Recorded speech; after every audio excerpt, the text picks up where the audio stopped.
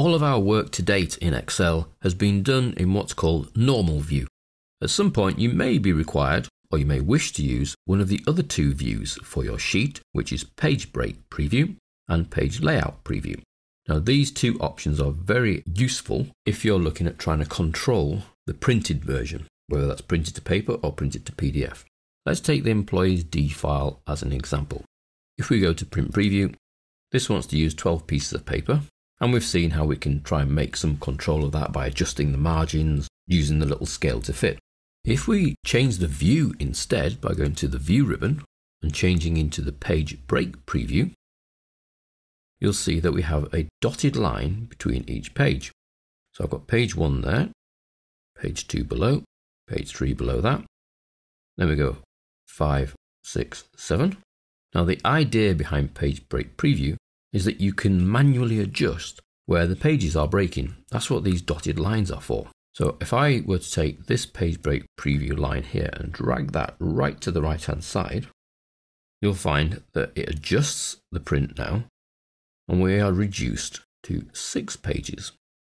Now the split is not very even for my mind and you can see that better in print preview that there seems to be more on these left hand pages than there is on the right hand pages but that's fine we can adjust that internal gap, this line here, we can grab that and drag it across so it's sort of more equidistant. So that way we're putting columns A to K on the first three pages and then the columns L to T on the right hand columns. Now notice that that end column is not actually being used, so we could save even more space by actually dragging in the edge of the printing. And you can see then column T is not now included in our print area. We can adjust the horizontal page break as well. That's breaking here and it's only putting about seven or eight lines on the next page. Well, I don't need that bottom one because there's no data in it. And then the two joins in between, I could take that dotted line and drag it to the bottom. And I've now forced the input to fit onto four pages. And again, print preview to see what that looks like. And it sort of looks okay. Perhaps there's too much on the secondary pages, but I can then take the join here and drag that down a bit more. So that's page break preview. Now personally, I wouldn't use it for what we've just done, which is to adjust the right hand side, the left hand side, the bottom. I would use it for just adjusting in one column. You might find that one column at the right keeps being missed out and being used on a whole new page, which is causing you to use four or five new pages of paper. You can come into page break preview and effectively drag that right hand side in a little bit.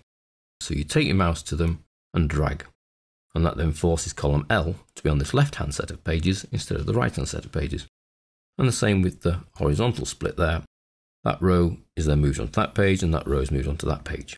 You can still work on this view, so you can still go into the cells and make changes and add formulas, etc. But personally, once you've used it to do what you wanted to do, which is to adjust the page breaks, I would go back to normal and then work in normal.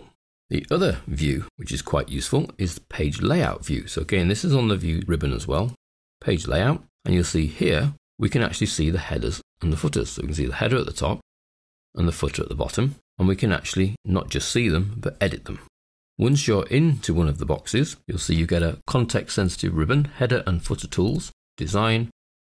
Here are the same options that you get that you saw when we went through the dialog box to do the header and the footer. We can insert the number of pages, the date, the time, the file path, etc. So if I wanted to scroll down and put the file path into the footer. There's my footer.